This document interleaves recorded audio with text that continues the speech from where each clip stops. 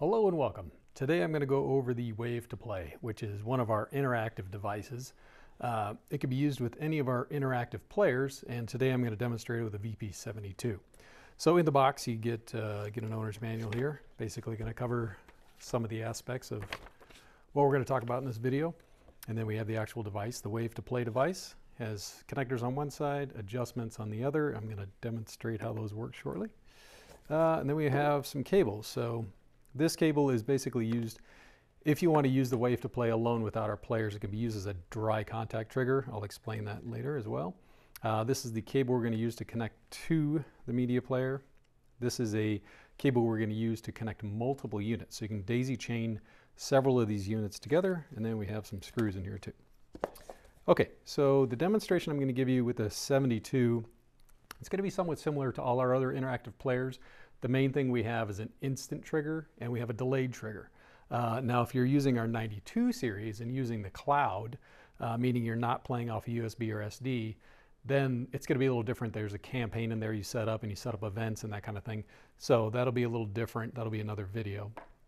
Okay, so the wave to play, we basically have two sides here. and the one side, we basically have some I.O. ports. And this is where you're going to connect the player itself to the the media player, and then also to other players. And it doesn't matter which one you choose. You can use either one of them. Um, this cable, there's a large connector on one side and a smaller one on the other. So as you connect it to the player here, we're also going to connect it to the interactive media player here. Okay, so on this side, the only thing we have is the two connectors and then we have a dial. Now the dial currently is set to uh, 001. So what that means is when this is triggered, it's going to send a command to the player saying play video 001.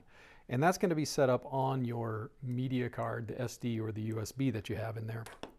Uh, so right now, as I plug this thing in and I'm sitting it on a counter, it's going to start triggering and so on. So I'm just going to give you some examples of how you can use this in just a couple scenarios. I mean, you could really use this in, in any industry, you know, hospitals, hotels, casinos, museums. I mean, it's just kind of endless. Uh, or movie theater. so if you have a, you know, movie theater and you have like the, um, you know, the, the billboards out there and you want to maybe have a video where you can let the people take a look at it, uh, this would be an option. So basically the wave to play, all they're going to do is as they get their hand close to it, it triggers and it's going to trigger the video.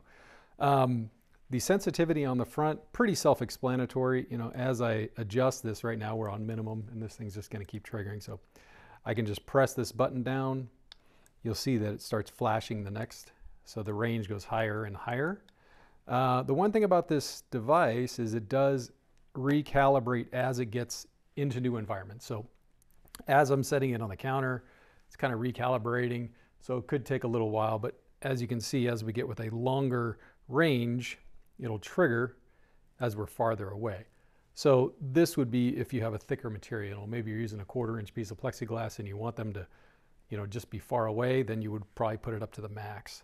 Uh, if you have it really low and you're gonna want them to touch the counter, you could set it to low. So that's the adjustments there. Very simple. You just press it for a second or so. It'll go to the next light. It'll blink back and forth. I'm just gonna put this one back to the minimum side. Um, on the other side here, we just have basically two lights. We have an LED for power, and then we also have one for trigger. So every time it triggers, that little blue light will come on and let you know that it's actually triggered. Um, so another example, you know, here we have a movie theater suggestion. And then uh, a lot of, lot of museums use these devices, kind of a touchless solution instead of a button, and it, and it just kind of looks cool. You can make a nice, uh, a nice display out of it. Um, so yeah, you could, aquariums, um, uh, aviaries, museums. Uh, here's another example. You know, just wave your hand and learn more about the the macaw. It's going to trigger the video play. Uh, now there are two modes uh, that we have on this player. We have an interactive instant and we have an interactive delayed. And that's going to be the same for all of our interactive players. So I'll just show you how that works real quick. So basically the menu is going to look different on each player. They're all just a little bit different. So right here we have interactive instant and then we have interactive delayed. So interactive delayed, basically all that means is when I go to trigger it, it's going to trigger the video, but if I trigger it again, it's going to ignore it. So that way, if you have three different videos and you trigger this one and you don't want them to cut it off with another one, you would set it to delayed.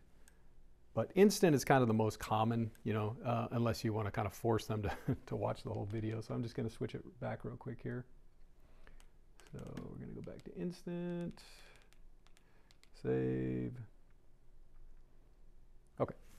Um, so that's basically how you're going to have one unit.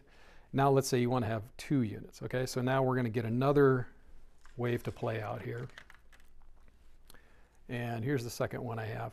And basically we're just going to daisy chain them. And I'm just going to I'm just to screw this one on here so we have a little more realistic vision of what it would look like in a uh, in a museum or a store. Uh, I'll give you some examples. You know how you can use this for retail. Uh, it's very very simple, very straightforward.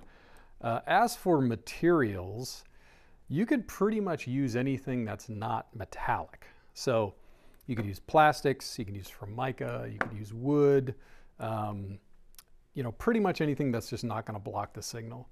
Um, and really just the only thing you don't want to have around it is metal so and wires actually so you know as you're you're connecting this and figuring out the display you want to make sure that the wires um, aren't running behind the unit you know because that will interfere with it um, the sensor is basically it's on this one side. It's basically on this side. We have it labeled um, sensor side, but it will also sense on this side. So if you have it too close to another, another object or you have wires on the back of it, you know, it could give you some false triggers. So I'm just going to set this thing up here real quick. Um, flip it around. Actually, let me show you how they connect. Uh, so basically now we're just going to connect the two using this wire. Uh, and like I said, it doesn't matter which port you use. Um, you're just going to connect them together.